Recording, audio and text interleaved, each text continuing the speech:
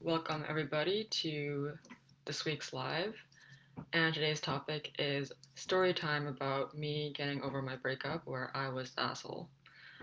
So, the reason why I wanted to share this is because oftentimes like I can share like tips and tricks for getting over breakups, but nothing really lands as deeply as someone's real life story.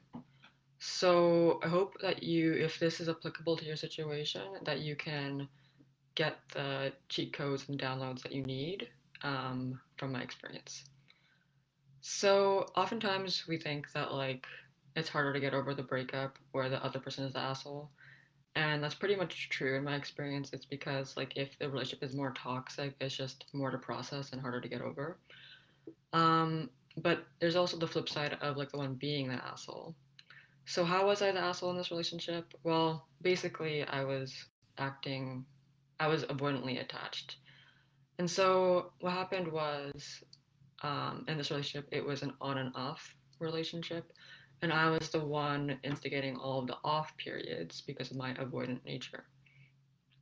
And at one point, um, like, I realized that we were on and off. Like, I had, I started to kind of hone in on, like, okay, so we're on and off, and this is probably because of my, like, attachment style. Um, so at one point we were in we were relating in the on and off fashion, but we had this awareness of like why that was. However, we're still doing it. So this is one of the key things. Awareness can be really helpful, but sometimes awareness it just isn't enough to like break the pattern. So I was in this on and off cycle. I had awareness around like, you know, how to do it with attachment styles. And just a quick primer on attachment styles for those who don't know. Um, it's basically the idea that our modeling of relationships, we learn them in, ch- in childhood. And it's basically our strategies for gaining love. If we learned that love was inconsistent, we basically had a strategy of clinging. If we learned that love was basically um, unavailable, um, we learned how to like become very self-reliant and become avoidant versus if we learned like that love wasn't safe, that would be like more disorganized. And you know, if you learn that love was like consistent and reliable, then that'd be secure. That's what a, attachment styles is in a nutshell. So I basically had a combination of anxious and avoidant, but in this relationship, I was showing up as avoidant. And that's another thing is that like your attachment style isn't like a fixed thing. It can show up differently um, in different relationships. And part of why I wasn't seeing um, my role in this on and off cycle for so long is because I didn't see myself as an avoidant attach, uh, an avoidant attacher. I saw myself as more of an anxious attacher. So once I realized that, um, I was still engaging in this in this pattern.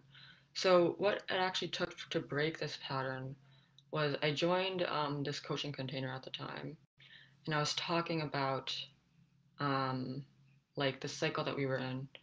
And basically, as I was talking about it, it just became clear to me, like, like reflected in the coaching containers, their faces back. It's just like, oh yeah, this is really dysfunctional. Even though I'm aware that it's dysfunctional, it's still happening. So I need to do something differently in order to shift this. So that's what a container can do. It can often um, like hold space for you to like kind of look at something where where before you might not be able to look at it. So so yeah, like I realized I had to do something differently to change it. And so I like shortly after that uh, coaching, I kind of got down my journal. I just really started to analyze like, wait, what instigates like the on periods and what instigates the off periods. And then slowly I was able to put together like, okay, this is what the on periods are like, this is what the off periods are like. And then I realized part of it was like my inability to like I would separate out the good and the bad. So when it was good, the relationship was be going, and it was bad, I would call it off. And I couldn't integrate good and bad together into one holistic whole. So once I saw like what actually um, was instigating the on and off periods, I was able to to really say, okay, we really really need to stop this. Like it's not healthy. Um, and it's interesting because we did have a no contact period before, um, but that didn't actually like break the cycle. So two things about that. One, the no contact period we had, I think it was too short. Um, now I'm of the opinion that at least six months no contact period if you've been dating less than six months, and at least a year if you've been dating a year or more. So we had a no contact period before, but you know it was it didn't wasn't long enough to really stick in the new changes, as well as um, I think we still had stuff to learn. There's there's can often be a judgment on like you know toxic, unhealthy, on and off things like you know that's just a toxic relationship, but like, and I'm not saying it wasn't unhealthy, but also we are still learning and like I still got valuable experiences from all of that on and off period. So I don't necessarily regret that in its in of itself.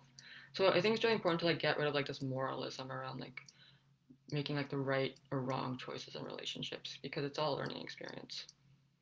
So yeah, um, in the coaching container, I finally got the insights I needed to like, okay, I really, really need to like break this cycle. So that's basically what I did. And then um, because we had the no contact period before, I decided to continue being friends. Um, and this time we just were were just friends. And for a while, like that worked out pretty well until I noticed myself like having like um, feelings again. And I was like, oh no, not this again. so at that point, I instigated like like a six month no contact period. And basically, in that period, like that actually is what it took to kind of like break like that cycle. Now this is where like after that the, the six month no contact period, that's where it kind of um, got interesting. Where this where the tides kind of turned because originally I was the one being the avoidant person. Like I was the one always instigating like um, the no contact, right? And then after um, but after the, the six month no contact period, the, the, the tides kind of reversed because I I didn't actually feel like super negatively during the no contact period, and I think part of that was because I expected to be friends again. So that's the thing. It's like I don't think being friends with your ex after a breakup is wrong. Um, I'm friends with a lot of my exes, but it can be really tricky territory because um, it can maintain some of the more maladaptive attachment patterns. Let's just say that. So, or not necessarily maladaptive, but like, um, yeah, I guess like it can keep you stuck in certain attachment patterns. So I expected to be friends like after the no contact period, and what happened was, like my ex was kind of like wishy-washy, and it wasn't really explicit that they didn't want to be friends with me, but and so I had to go through this period of like really reading between the lines and being like, oh, okay, like they actually are not interested in being friends. And so at this point, this was when the, the tide shifted from essentially I was the one maintaining the distance like during our relationship. But now it's now it was their turn to maintain the distance. And that's like when everything shifted for me. That's when my actually my anxious attachment turned on. So what I realized was that like this whole time where I thought like I was because you know because I felt like um not that heartbroken during the six month no contact period. I thought like you know whatever like I got through this breakup really easily. It's fine. But what actually happened was that like um because there was like the subconscious attachment still remaining, like I could part of myself still felt safe. Wasn't actually feeling the impact of like the severing of the tie. So like when they had their turn to reject me, quote unquote, then that's when I felt like the attachment being threatened. And then all of like the inner child stuff coming up. So I first what I had to do is like when I realized that they didn't actually want to be friends with me after the no contact period, I had to like go through um because I felt like betrayed. And what betrayal is is essentially like a um it's when your expectations don't match like the reality. So I expected to be friends and that didn't happen. And so I felt betrayed. And so part of that was like feeling the feelings and like letting the them like kind of, you know, do their thing and like pass through. Um and so that was one thing. And then another thing was that like once I once I realized like this whole avoidant attachment thing, it was all like even though I thought I was being like super independent and like I wasn't super attached to this relationship necessarily. Like it was actually it's like the thing with avoidant attach- attachment is like if you look at it the literature it's like the, the child is maintaining like this feeling of independence but deep down they do still feel like the anxiety of not being connected. So avoidant attachment is really kind of like a way of maintaining the strings so you have an optimal level of distance. It's like not too far away so that otherwise you won't have safety but not too close because then you won't feel the fear of rejection. So avoidant attachment is just really like a subconscious like manipulation of the the distance that you have with your partners, right? And so once they kind of like stopped that pattern of they they the one they're the one who became distant, then all my inner child stuff came up. So basically, I, to, I did a lot of theta healing on myself to heal like those inner child fragments that were um, still attached to my ex, as well as um, another part of transmuting this breakup was was kind of like getting there was like a bit of a limbo. I didn't understand. There was a lack of information of like on his end like what was going on with them. And when there's a lack of information, our brain like tries to figure out what's going on, and if it can't, it just kind of ends up in like a loop. So part of that was also like filling in those gaps. So let's say I couldn't talk to him directly, um, but like my brain still wanted to know like what was going on. So I did some like connecting like to his higher self and basically got the download like you know that they still care about you but you know you hurt them so they need space. It's like okay, well that makes sense to me and now my brain can rest easy because it has that information. So even if you um, are not really practiced or believe in connecting to higher self or whatever, like you can also do an exercise where you just kind of imagine from their perspective like what's going on um, or kind of like even have a conversation with them and then you talk as them to kind of like ground in what their perspective of the situation may be if you don't actually have a dialogue with them.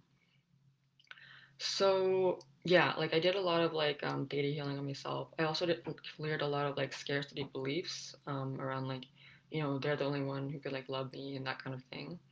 Um, like even though i didn't believe that consciously like subconsciously part of me did believe that so um, yeah, and so, but then I noticed like it was still a bit sticky. Um, so that's when I went to my theta healer about it.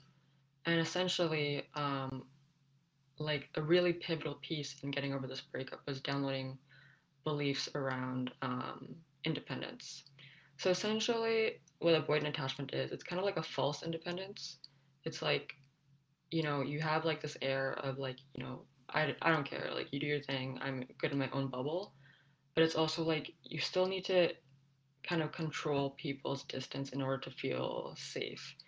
It's like the avoidant child is like trying to maintain an air of like not being too inconvenient to their caregivers so their caregivers will not feel like they're too much and they'll stick around right so so part of it is just like it's a false independence so part of our with avoidant attachment, part of our psyche is like stuck in like this false independence.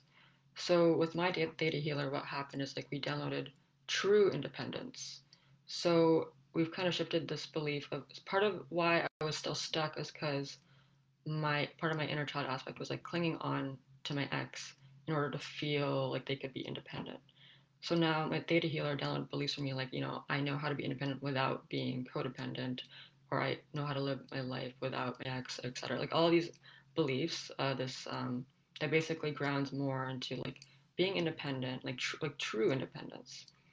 So after we did, I did that session, then like that just basically shifted like the bulk of it. Like I felt like it was like complete.